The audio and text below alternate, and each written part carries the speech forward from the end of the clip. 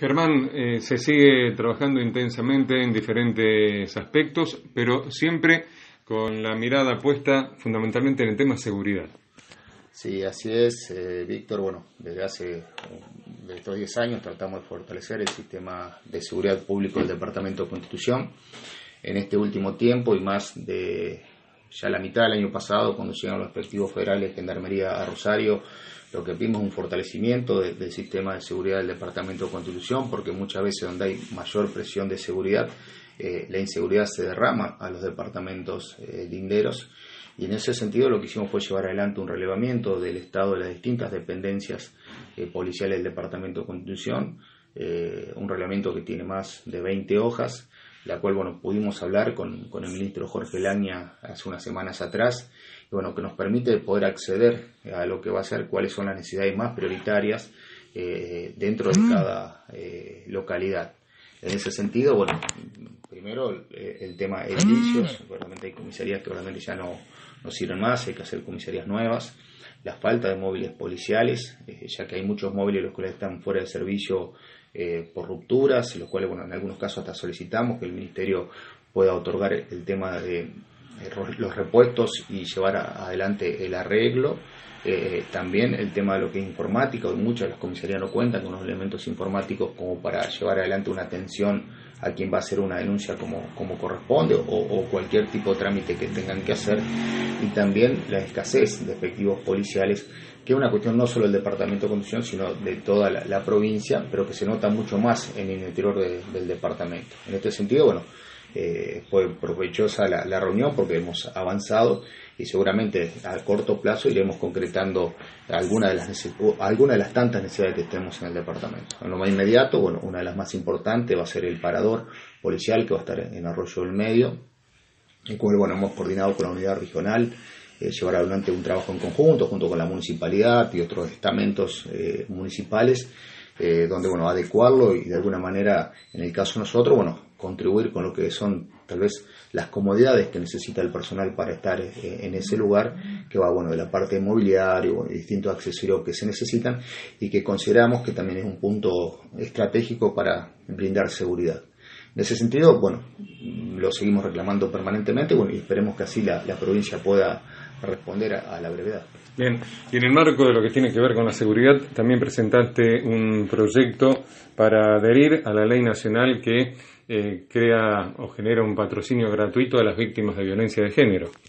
Sí, así es. Después, bueno, de un dictamen que la justicia eh, lleva adelante por el caso eh, de una docente apellido Castillo, que esto ocurrió en Alto Verde, en la, en la capital de, nuestra provincia, que es un caso de femicidio. Esta docente eh, defendía a una alumna, la cual, bueno, eh, estaba embarazada y había sido víctima de abuso. En este caso, el abusador termina matando a, la docente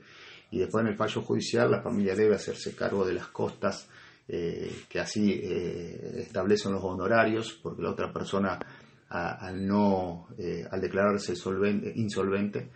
no pudo de alguna manera pagar los honorarios y que hacer cargo de la familia. En este caso, la familia Castillo no solo eh, tiene el dolor del, ser fallecido, sino también tener que pagar, bueno, en este caso se intervino por, a través de distintos estamentos provinciales para que la provincia pueda hacerse cargo de esos honorarios. Y también a esto lo que propusimos es que la provincia pueda adherir a, una ley nacional, que es una ley que conforma un cuerpo de abogadas y abogados de carácter permanente para llevar un patrocinio gratuito en estos casos. Nosotros en la provincia de Santa Fe contamos eh, con un cuerpo de abogadas y abogados que son de la provincia de Santa Fe, que verdaderamente llevan un trabajo eh, muy bueno eh, y muy relevante, pero también sabemos que trabajan por saturaciones y que son muchísimos los casos que tienen. Esto, de alguna manera, lo que nos permitiría es fortalecer el sistema y, nos permitiría de alguna manera poder dar una atención permanentemente sumado a lo que la provincia, en, los distintos puntos de la provincia, eh, así desarrolla. Así que eh, esto también eh, está dado por, bueno, por esas cuestiones que muchas veces parece que, estamos en una cuestión de, de, falencias en situaciones y más cuando en algunos casos se dictaminan cuestiones que terminan afectando a la víctima y no verdaderamente a quien ha generado el hecho. Bien, en otro orden, Germán, desde hace años en toda la, comunidad del sur de la provincia de Santa Fe, fundamentalmente, viene reclamando la reparación de la Ruta 90. ¿Qué novedades hay con relación a esa importante obra? Mira, ahí nosotros, bueno, la ruta en este momento la, tenemos dividida por tres tramos, uno que se llama la zona crítica, la zona crítica es entre lo que es el cruce de Santa Teresa y la rotonda del Corta, donde estaba el mayor deterioro de, la ruta.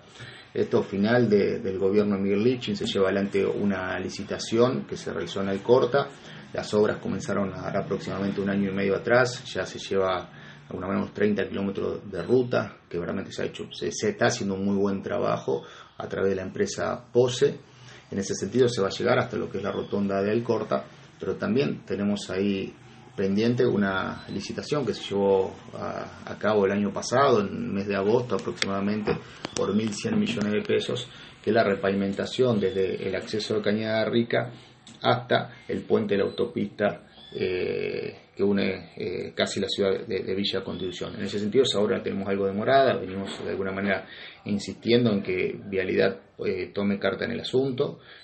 nos informan de Vialidad que se ha reformulado el proyecto porque utilizarían lo que es el hormigón para usarlo como base, lo molerían, lo usarían como base que denominado suelo cemento. Eh, y entonces en este caso bueno se encuentra demorado en este caso la obra. Lo que nosotros solicitamos es que en el mientras tanto se vayan haciendo los arreglos correspondientes de, de, la ruptura que se van generando desde agosto hasta ahora, que realmente algunas son totalmente peligrosas. En eso bueno vemos que la, la cuadrilla de vialidad está llevando adelante algunos trabajos, pero consideramos que lo más adecuado sería que la empresa comience con la obra y también lo que solicitamos, porque tiene un plazo de 18 meses de ejecución la obra, que pueda trabajar con dos frentes, es decir, comenzar desde autopista hacia Cañada Rica y desde Cañada Rica hacia eh, la ciudad de Villa Misión, que sería importante. Y el, tercer tramo, que es el tramo desde Cañada Rica al cruce de Santa Teresa, y, desde la rotonda del Corta, pasando al Corta, bueno, eso dispondrá el gobierno de la provincia de Santa Fe si en este año se llama licitación para esa obra, ya que en algún momento se acordó la repavimentación del 100% de la ruta 90 que atraviesa el departamento eh, Constitución. También hay algunas obras importantes porque el cruce de Santa Teresa deja de ser cruce para pasar a ser una rotonda, una rotonda con dos anillos como eh, el que existe en el cruce de, de Alcorta, bueno, que eso va a permitir una mayor seguridad a todos los que transitamos por, por ese lugar, porque bueno, ese cruce es un cruce denominado peligroso y bueno, también se va a sumar el tema de la seguridad. Lo que nosotros bueno, esperamos que estas obras comiencen rápido, porque bueno, con el tema de estas lluvias, con el tema del calor, todo eso, la ruta eh, ya no prácticamente no trabaja más, se rompe, si el tránsito pesado tiene más de 60 años, eh, la salida ahora lo que va a ser la cosecha gruesa la va a deteriorar mucho más eh, y creemos que bueno,